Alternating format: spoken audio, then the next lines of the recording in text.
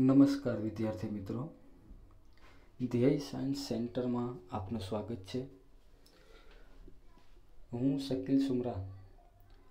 તમારા માટે આજે ધોરણ આઠ, ગણિત, ચેપ્ટર નંબર એક, સમય સંખ્યાનો ભાગ બે પ્રસ્તુત કરું છું. સંખ્યાના ગુણધર્મો. આગળના ભાગમાં આપણે ચાર સંખ્યા સમૂહોની વાત કરી હતી જેમાં પ્રાકૃતિક સંખ્યા એન જેની અંદર એક, બે, ત્રણ, ચાર એવી ધન પૂર્ણાંક સંખ્યાઓનો સમાવેશ થાય છે. બે, પૂર્ણ સંખ્યા ડબલ્યુ જેની અંદર શૂન્યની સાથે ધન પૂર્ણાંકોનો સમાવેશ થાય છે. ત્યારબાદ પૂર્ણાંક સંખ્યા ઝેડ જેમાં ઋણ પૂર્ણાંકો, ધન પૂર્ણાંકો અને શૂન્યનો સમાવેશ થાય છે. અને છેલ્લે સમય સંખ્યા ક્યુ કે જેની અંદર અંશ અને છેદવાળી સંખ્યાઓ, એટલે કે પીના છેદમાં ક્યુ જ્યાં પી પૂર્ણાંક સંખ્યા અને ક્યુ પ્રાકૃતિક સંખ્યા. ગણિતમાં મુખ્યત્વે ચાર બેઝિક ક્રિયાઓ છે, જે આપણે જાણીએ છીએ, જેમાં સરવાળો, બાદબાકી, ગુણાકાર અને ભાંગાકાર છે. ગુણધર્મો. ચાર બેઝિક ક્રિયાઓ માટે સંખ્યા સમૂહોના ગુણધર્મો નીચે મુજબ છે. એક, સમૃદ્ધતાનો ગુણધર્મ.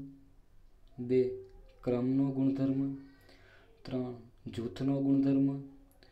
ચાર, વિભાજનનો ગુણધર્મ. પાંચ, શૂન્યની ભૂમિકા. છ, એકની ભૂમિકા. સાત, વિરોધી સંખ્યાનું અસ્તિત્વ. અને છેલ્લે આઠ, વ્યસ્ત સંખ્યાનું અસ્તિત્વ.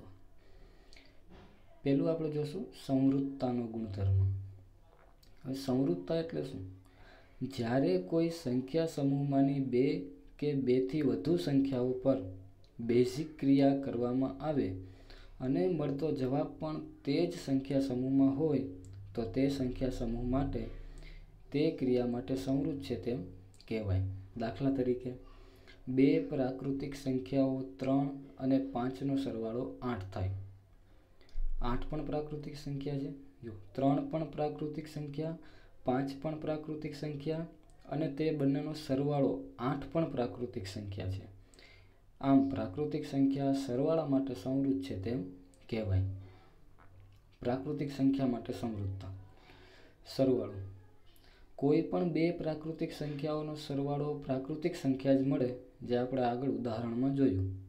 દાખલા તરીકે ચાર વત્તા પાંચ બરાબર નવ. ચાર અને પાંચ પ્રાકૃતિક સંખ્યા છે. અને તેમનો સરવાળો નવ પણ પ્રાકૃતિક સંખ્યા છે. છ વત્તા આઠ બરાબર ચૌદ. છ અને આઠ પ્રાકૃતિક સંખ્યાઓ છે અને તેમનો સરવાળો ચૌદ પણ પ્રાકૃતિક સંખ્યા છે.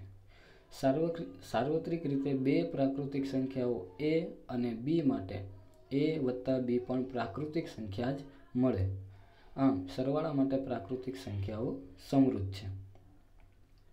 બાદબાકી. બે પ્રાકૃતિક સંખ્યાઓ છ અને બે માટે વિચાર કરીએ, તો છ માઇનસ બે બરાબર ચાર, જે પ્રાકૃતિક સંખ્યા છે. છ અને બે કેવી સંખ્યા છે? પ્રાકૃતિક સંખ્યા.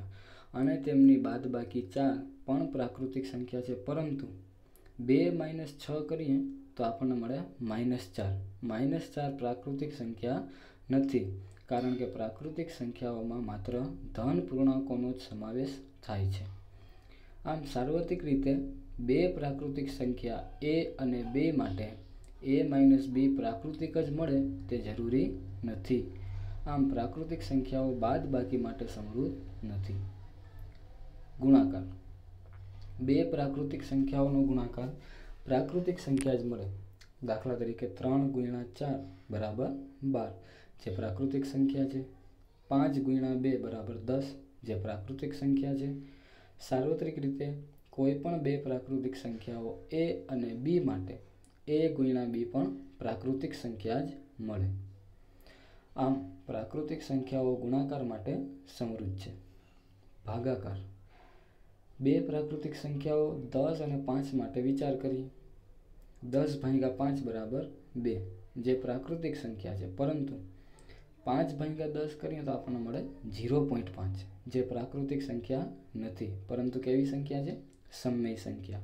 કારણ કે પાંચના છેદમાં દસ એટલે કે અંશ અને છેદવાળી સંખ્યા સમય સંખ્યા છે.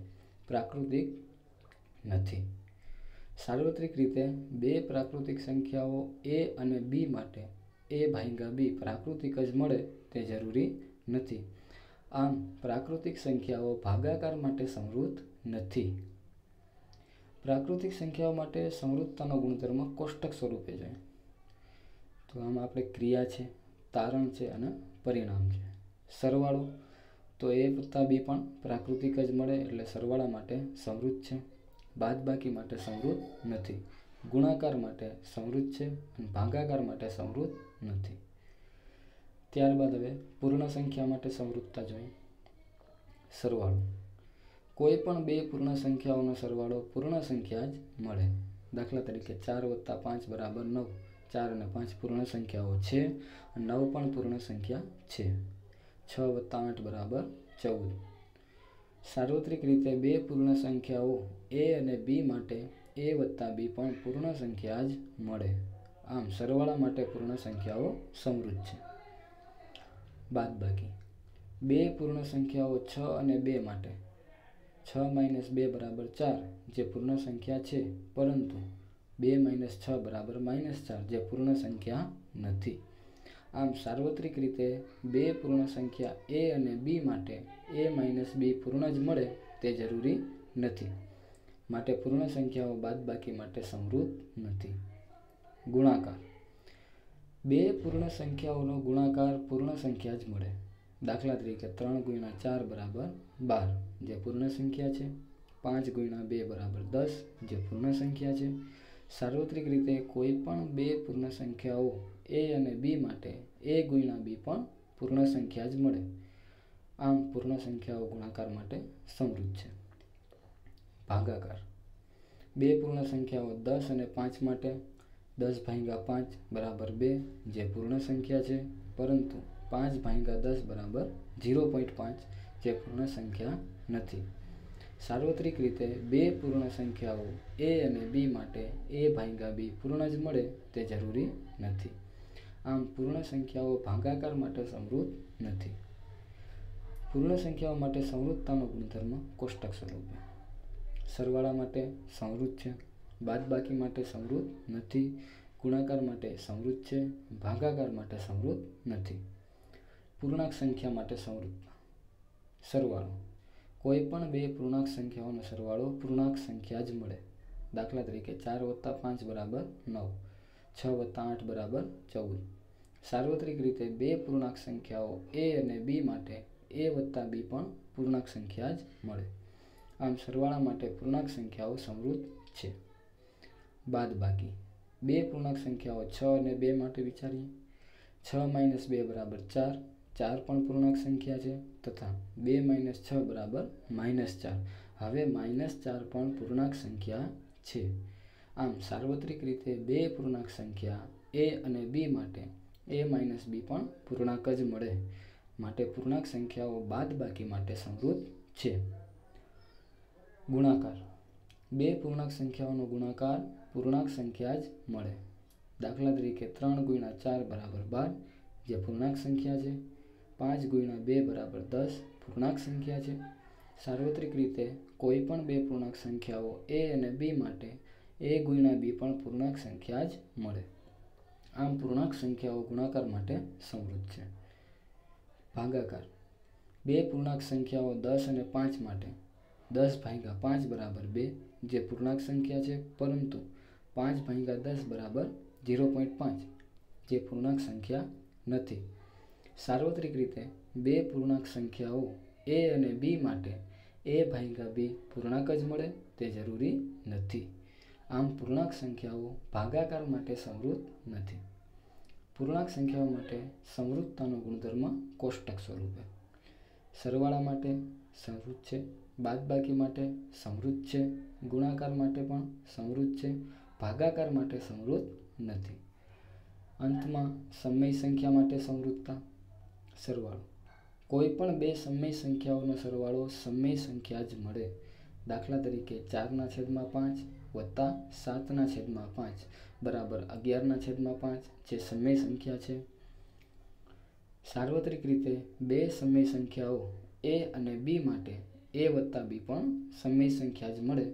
આમ સરવાળા માટે સમય સંખ્યાઓ સમૃદ્ધ છે. બાદબાકી. બે સમય સંખ્યાઓ, છના છેદમાં પાંચ અને બેના છેદમાં પાંચ માટે છના છેદમાં પાંચ માઇનસ બેના છેદમાં પાંચ બરાબર ચારના છેદમાં પાંચ. જે સમય સંખ્યા છે તથા બેના છેદમાં પાંચ માઇનસ છના છેદમાં પાંચ બરાબર માઇનસ ચારના છેદમાં પાંચ એ પણ સમય સંખ્યા છે. આમ સાર્વત્રિક રીતે બે સમય સંખ્યા એ અને બી માટે એ માઇનસ બી પણ સમય જ મળે. માટે સમય સંખ્યાઓ બાદ બાકી માટે સમૃદ્ધ છે. ગુણાકાર. બે સમય સંખ્યાઓનો ગુણાકાર સમય સંખ્યા જ મળે. દાખલા તરીકે બેના છેદમાં ત્રણ, ગુણ્યા ચારના છેદમાં ત્રણ, બરાબર આઠના છેદમાં નવ, જે સમય સંખ્યા છે. સાર્વત્રિક રીતે કોઈ પણ બે સમય સંખ્યાઓ એ અને બી માટે એ ગુણ્યા બી પણ સમય સંખ્યા જ મળે. માટે સમય સંખ્યાઓ ગુણાકાર માટે સમૃદ્ધ છે. ભાગાકાર. બે સમય સંખ્યાઓ દસ અને પાંચ માટે દસ ભાગ્યા પાંચ બરાબર બે. જે સમય સંખ્યા છે તથા પાંચ ભાગ્યા દસ બરાબર ઝીરો પોઈન્ટ પાંચ એટલે કે પાંચના છેદમાં દસ પણ સમય સંખ્યા છે. તમે એવું વિચારશો કે ભાગાકાર માટે સમય સંખ્યાઓ સમૃદ્ધ થશે પણ નહીં. આ એક મહત્વનો ગુણધર્મ છે. પાંચ અને ઝીરો માટે વિચારીએ તો પાંચ ભાંગા ઝીરો એટલે કે પાંચના છેદમાં ઝીરો સમય સંખ્યા નથી. કારણ કે કોઈ પણ સંખ્યાના છેદમાં શૂન્ય હોય નહીં એવું આપણે ભાગ એકમાં જોયું હતું. આમ સાર્વત્રિક રીતે બે સમય સંખ્યાઓ એ અને બી માટે એ ભાગ્યા બી સમય જ મળે તે જરૂરી નથી. આમ સમય સંખ્યાઓ ભાગાકાર માટે સમૃદ્ધ નથી. કોષ્ટક સ્વરૂપે માહિતી મેળવીએ. તો સરવાળા માટે સમય સંખ્યાઓ સમૃદ્ધ છે, બાદબાકી માટે સમૃદ્ધ છે, ગુણાકાર માટે સમૃદ્ધ છે અને ભાગાકાર માટે સમૃદ્ધ નથી. ક્રમનો ગુણધર્મ. કોઈ પણ બે સંખ્યાઓ પરની બેઝિક ક્રિયામાં સંખ્યાઓનો ક્રમ બદલવામાં આવે અને મળતા પરિણામમાં કોઈ ફેર ના પડે, તો તે ક્રિયા માટે ક્રમના ગુણધર્મનું પાલન થાય છે તેમ કહેવાય. સરવાળા માટે ક્રમનો ગુણધર્મ. કોઈ પણ બે સંખ્યાઓ એ અને બી માટે એ વત્તા બી બરાબર બી વત્તા એ. દાખલા તરીકે, સંખ્યાઓ પાંચ અને આઠ માટે જોઈએ તો પાંચ વત્તા આઠ બરાબર તેર અને આઠ વત્તા પાંચ બરાબર તેર. જોવો જોઈએ પાંચ અને આઠનો સરવાળો તેર થાય છે. હવે આપણે ક્રમની અદલા બદલી કરીએ, એટલે આઠ વત્તા પાંચ બરાબર પણ તેર થાય છે. એટલે પરિણામમાં કંઈ ફેર પડતો નથી. સરવાળા માટે ક્રમ બદલતા પરિણામ બદલતું નથી. આમ સરવાળા માટે ક્રમના ગુણધર્મનું પાલન થાય છે તેમ કહેવાય. બાદ બાકી માટે ક્રમનો ગુણધર્મ. કોઈ બે સંખ્યાઓ ચાર અને બે માટે. ચાર માઇનસ બે બરાબર બે. પરંતુ બે માઇનસ ચાર બરાબર માઇનસ બે. એટલે કે ક્રમની અદલા બદલી કરીએ તો પરિણામ પણ બદલી જાય છે. અહીં બાદબાકી માટે સંખ્યાઓનો ક્રમ બદલતા પરિણામ પણ બદલાઈ જાય છે. તેથી બાદબાકી માટે ક્રમના ગુણધર્મનું પાલન થતું નથી. ગુણાકાર માટે ક્રમનો ગુણધર્મ. બે સંખ્યાઓ સાત અને બે માટે. સાત ગુણ્યા બે બરાબર ચૌદ અને બે ગુણ્યા સાત બરાબર ચૌદ. એટલે કે ગુણાકાર માટે સંખ્યાનો ક્રમ બદલતા પરિણામ બદલતું નથી. આમ, ગુણાકાર માટે ક્રમના ગુણધર્મનું પાલન થાય છે. ભાગાકાર માટે ક્રમનો ગુણધર્મ. બે સંખ્યાઓ દસ અને પાંચ માટે દસ ભાંગા પાંચ બરાબર બે. પરંતુ પાંચ ભાંગા દસ બરાબર ઝીરો પોઈન્ટ પાંચ. સંખ્યાનો ક્રમ બદલવામાં આવે તો પરિણામ બદલી જાય છે. તેથી ભાંગાકાર માટે ક્રમના ગુણધર્મનું પાલન થતું નથી. એના પછી જૂથનો ગુણધર્મ. ત્રણ કે ત્રણથી વધુ સંખ્યાઓ માટે જુદા જુદા જૂથ બનાવી બેઝિક ક્રિયા કરતાં પરિણામ ન બદલે તો તે ક્રિયા માટે જૂથના ગુણધર્મનું પાલન થાય છે તેમ કહેવાય. સરવાળા માટે જૂથનો ગુણધર્મ. સંખ્યાઓ બે, ત્રણ અને પાંચ માટે બે વત્તા ત્રણ વત્તા પાંચ. બરાબર, પાંચ વત્તા પાંચ. બરાબર, દસ. અહીં છે બે અને ત્રણનું એક જૂથ બનાવેલું છે, જેનો સરવાળો પાંચ થાય છે અને સાથે પ્લસ પાંચ, એટલે કે દસ. પણ હવે આપણે જૂથની એટલા બદલી કરીએ, એટલે કે હવે જૂથ બનાવશું ત્રણ અને પાંચનું. તો બે વત્તા ત્રણ વત્તા પાંચ, બરાબર. બે વત્તા આઠ, બરાબર, દસ. અહીં છે એ જૂથ બદલતા પરિણામમાં કંઈ ફેર પડતો નથી. માટે, સરવાળા માટે જૂથના ગુણધર્મનું પાલન થાય છે.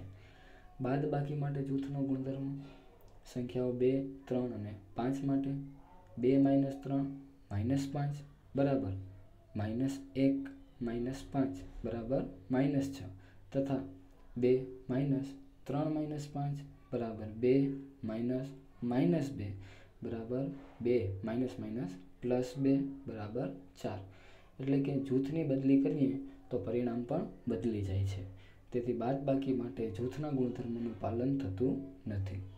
ગુણાકાર માટે જૂથનો ગુણધર્મ સંખ્યાઓ બે, ત્રણ અને પાંચ માટે બે ગુણ્યા ત્રણ ગુણ્યા પાંચ બરાબર છ ગુણ્યા પાંચ બરાબર ત્રીસ તથા બે ગુણ્યા ત્રણ ગુણ્યા પાંચ બરાબર બે ગુણ્યા પંદર બરાબર ત્રીસ. એટલે કે જૂથ બદલતા પરિણામ બદલતું નથી. તેથી ગુણાકાર માટે જૂથના ગુણધર્મનું પાલન થાય છે. ભાગાકાર માટે જૂથનો ગુણધર્મ? સંખ્યાઓ આઠ, ચાર અને બે માટે. આઠ ભાંગા ચાર ભાંગા બે બરાબર. બે ભાંગા બે બરાબર એક. તથા આઠ ભાંગા ચાર ભાંગા બે બરાબર. આઠ ભાંગા બે બરાબર ચાર. એટલે કે જૂથ બદલતા પરિણામ બદલી જાય છે. તેથી ભાગાકાર માટે જૂથના ગુણધર્મનું પાલન થતું નથી. વિભાજનનો ગુણધર્મ. ગુણાકારનું સરવાળા અને બાદબાકી પર વિભાજન થાય છે. દાખલા તરીકે એ ગુણ્યા બી વત્તા સી બરાબર એ છે એ બી અને સી બંને સાથે ગુણાશે અને એનો થશે સરવાળો. એટલે કે એ ગુણ્યા બી પ્લસ એ ગુણ્યા સી તેવી જ રીતે એ ગુણ્યા બી માઇનસ સી બરાબર એ ગુણ્યા બી માઇનસ એ ગુણ્યા સી દાખલા તરીકે, બે ગુણ્યા પાંચ વત્તા ત્રણ, એની વાત કરીએ તો બે ગુણ્યા પાંચને ત્રણ, આઠ. બરાબર. બે ગુણ્યા આઠ, બરાબર સોળ. હવે જમણી બાજુ જોઈએ. બે ગુણ્યા પાંચ પ્લસ બે ગુણ્યા ત્રણ. બરાબર. બે પાંચ દસ વત્તા બે ત્રણ છ. એટલે કે દસ વત્તા છ બરાબર સોળ. પરિણામમાં કોઈ ફેર પડતો નથી. આમ બે ગુણ્યા પાંચ વત્તા ત્રણ બરાબર. બે ગુણ્યા પાંચ વત્તા બે ગુણ્યા ત્રણ જે વિભાજનનો ગુણધર્મ છે. શૂન્યની ભૂમિકા. કોઈ સંખ્યાનો શૂન્ય સાથે સરવાળો કરવામાં આવે અથવા શૂન્યનો કોઈ સાથે, કોઈ સંખ્યા સાથે સરવાળો કરવામાં આવે, તો પરિણામ જે તે સંખ્યા જ મળે. દાખલા તરીકે પાંચ વત્તા જીરો બરાબર જીરો વત્તા પાંચ બરાબર પાંચ. એટલે કે પાંચમાં શૂન્ય ઉમેરીએ કે શૂન્યમાં પાંચ ઉમેરીએ, તો એ જવાબ શું મળે? સંખ્યા પાંચ જ મળે. એટલે કે શૂન્ય સાથે સરવાળો કરતાં કંઈ ફેર પડતો નથી. આમ શૂન્ય એ સરવાળા માટે તટસ્થ ઘટક છે. એટલે કે કોઈ બેઝિક ક્રિયા કરવામાં આવે અને પરિણામમાં કોઈ ફેર પડે નહીં, જે તે સંખ્યા જ મળે, તો તેવી સંખ્યાને તટસ્થ ઘટક કહેવાય. તો સરવાળા માટે તટસ્થ ઘટક શૂન્ય છે. એકની ભૂમિકા. કોઈ સંખ્યાનો એક સાથે ગુણાકાર કરવામાં આવે અથવા એકનો કોઈ સંખ્યા સાથે ગુણાકાર કરવામાં આવે, તો પરિણામ જે તે સંખ્યા જ મળે. દાખલા તરીકે પાંચ ગુણ્યા એક કરી એક ગુણ્યા પાંચ કરી, તો એ જવાબ શું મળશે? પાંચ જ. એટલે કે એક સાથે ગુણાકાર કરતાં કંઈ ફેર પડતો નથી. આમ એક એ ગુણાકાર માટે તટસ્થ ઘટક છે. આવા તટસ્થ ઘટક માટે હું તમને પૂછું કે બાદ બાકી અને ભાગાકાર માટે તટસ્થ ઘટક હોઈ શકે? અને જો હોય તો શું? તો તમે જે કમેન્ટ કરજો. વિરોધી સંખ્યાનું અસ્તિત્વ. જે બે સંખ્યાઓનો સરવાળો શૂન્ય થાય, તે બે સંખ્યાઓને એકબીજાની વિરોધી સંખ્યા કહેવાય. જે બે સંખ્યાઓનો સરવાળો શૂન્ય થાય, તે બે સંખ્યાઓને એકબીજાની વિરોધી સંખ્યા કહેવાય. દાખલા તરીકે પાંચ પ્લસ માઇનસ પાંચ બરાબર જીરો. એટલે કે પાંચ અને માઇનસ પાંચ એકબીજાની વિરોધી સંખ્યા છે. તેવી જ રીતે એકના છેદમાં ત્રણ પ્લસ માઇનસ એકના છેદમાં ત્રણ બરાબર જીરો. એટલે કે એકના છેદમાં ત્રણ અને માઇનસ એકના છેદમાં ત્રણ એકબીજાની વિરોધી સંખ્યા છે. શૂન્યની વિરોધી સંખ્યા તે પોતે જ છે. એટલે કે શૂન્ય જ છે. કારણ કે ઝીરો વત્તા ઝીરો બરાબર ઝીરો. તેવી જ રીતે ચારની વિરોધી સંખ્યા શું થશે? માઇનસ ચાર. અને માઇનસ ચારની વિરોધી સંખ્યા પ્લસ ચાર. આઠની વિરોધી સંખ્યા માઇનસ આઠ. ત્યારબાદ વ્યસ્ત સંખ્યાનું અસ્તિત્વ. જે બે સંખ્યાઓનો ગુણાકાર એક મળે, તે બે સંખ્યાઓને એકબીજાને વ્યસ્ત સંખ્યા કહે છે. દાખલા તરીકે પાંચ ગુણ્યા એકના છેદમાં પાંચ, બેનો ગુણાકાર કરીએ તો પાંચ પાંચ ઉડી જશે અને વધશે એક. એટલે કે બેનો ગુણાકાર મળે છે એક. પાંચ અને એકના છેદમાં પાંચ એકબીજાની વ્યસ્ત સંખ્યા છે. એકની વ્યસ્ત સંખ્યા એક જ થાય, કારણ કે એક ગુણ્યા એક બરાબર એક. અને માઇનસ એકની વ્યસ્ત સંખ્યા માઇનસ એક જ થાય, કારણ કે માઇનસ એક ગુણ્યા માઇનસ એક બરાબર એક. તેવી જ રીતે આઠની વ્યસ્ત સંખ્યા એકના છેદમાં આઠ માઇનસ છની વ્યસ્ત સંખ્યા એ માઇનસ એકના છેદમાં છ તેવી રીતે. Thank you